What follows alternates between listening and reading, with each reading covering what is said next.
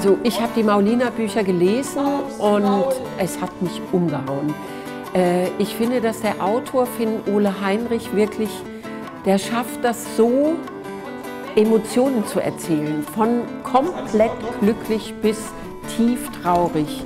Und da kann ich auch nur einfach sagen, wenn man eine Darstellerin hat wie Annalena Hitzfeld für die Mauliner, dann hat man schon mal 50 Prozent im Sack, weil die bringt das einfach alles mit.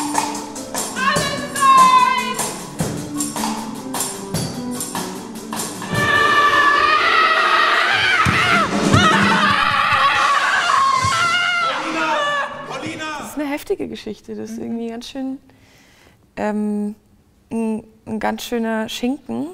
Und da drin aber die Lust und die Leichtigkeit zu behalten, dass es beweglich ist. Miteinander auch so das äh, herauszufinden und nicht irgendwie immer tiefer zu fallen und dann so zu suppen in der Traurigkeit oder so. Ja. Ähm, das ist ganz schön heftig, aber das ist auch sauschön. Muss man gut gegensteuern, aber das macht auch Spaß.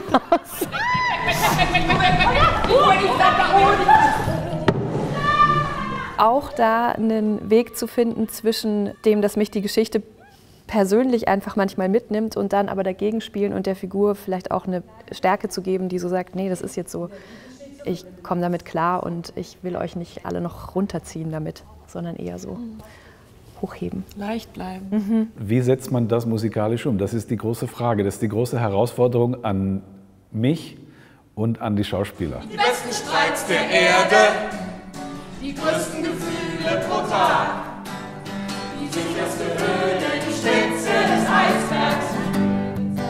Mein lebenslange Vertrag, ein lebenslanger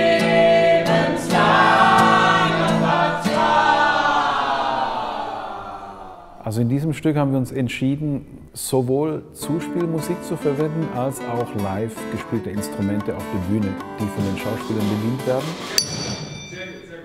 Ich freue mich, diese ganzen Sachen irgendwie auszutarieren und ich freue mich aber halt auf diesen Moment von, wir erzählen das zusammen und es geht auch immer wieder raus und wir, wir haben Lieder zusammen und so weiter. Das macht irgendwie Spaß, weil wir halt gemeinsam einfach uns irgendwie in diese Geschichte verliebt haben und jetzt erzählen wir die. Also das werden wir, glaube ich, sehr genießen über die Vorstellung.